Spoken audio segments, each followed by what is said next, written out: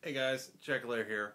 This is a response to a Big Daddy Darth's tag video on what's the most useless thing that you have in your collection. Uh, or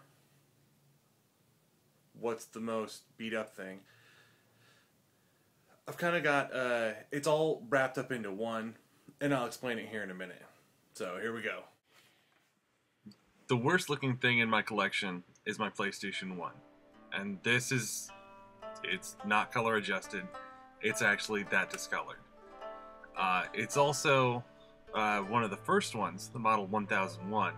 So it's got the multi-AV out, it's got the all the plugs built in. And there it is, the SCPH 1001. Now, it has the same problem that you always have with them.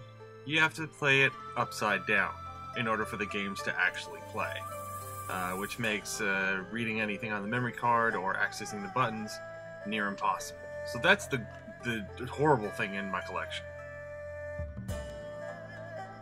The most useless thing in my collection is this. This is the Super GB Booster. That's all it is. This little hunk of plastic. Uh, it's got the plug right there. It's got the slot in the top.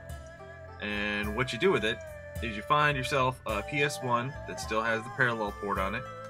Good luck with that, finding one that works. Uh, and then you just kind of take this finely crafted piece of plastic and kind of wiggle it around, slam it in there.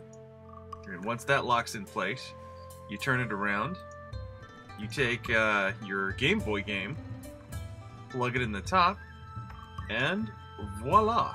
You have turned your PlayStation your added accessory, a TV, a couple miles of cable, into a Game Boy. Yay! As far as the most useless game in my collection, here it is. This mystery box contains none other than EverQuest Online Adventures for the PlayStation 2. Now that would be useless enough, but this is actually my disc from the public beta ages and ages ago. And it is beyond useless, but it's just friggin' cool to have a stamped beta disc. I mean, it doesn't have a little marker on it, it actually has stamped. So that's it for me. Uh, that's uh, all my useless crap. As always, play on.